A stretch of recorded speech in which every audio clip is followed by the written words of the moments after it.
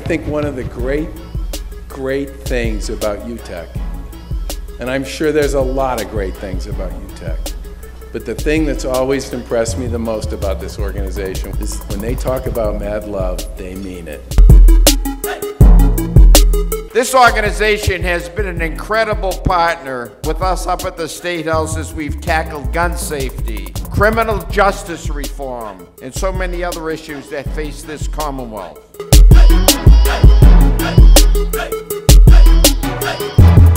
Tonight, not only do I feel proud, but I have to say, looking at all of our young adults, I feel confident that our future is in their hands.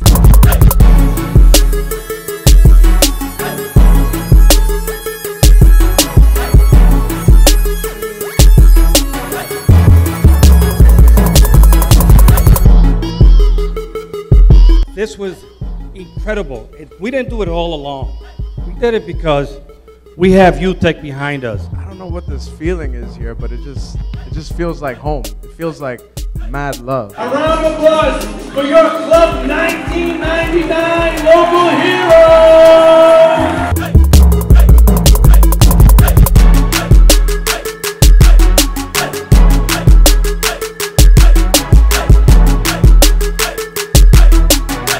UTEC is like the brand we all admire. And particularly, I'd like to lift up the voice of one young person, the voice of Eddie Mercado. Eddie influenced and he amplified our values. He made mad love more than a slogan, he made mad love a greeting.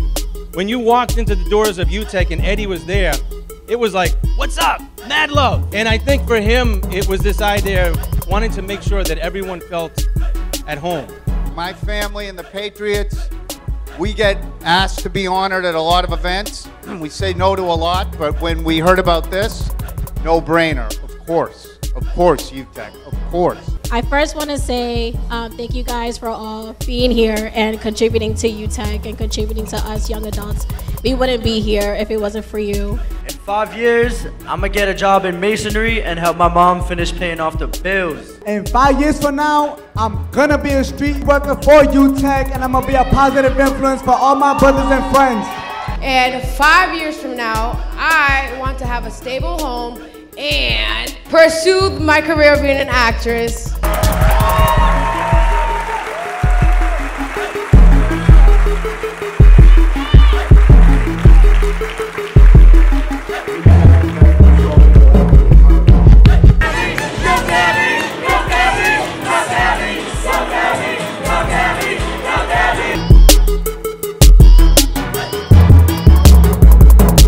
It's my honor to introduce former Congresswoman Gabby Giffords. It's time to stand up for what's right.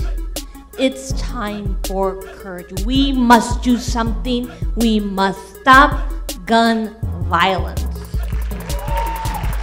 This year's Transformation of the Year winners Mr. Jose Houdini and James Perry!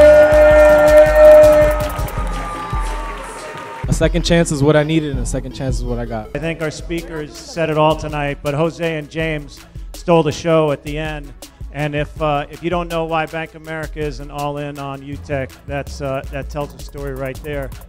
In the future, I see myself helping out my fellow young adults the same way I got help from UTEC.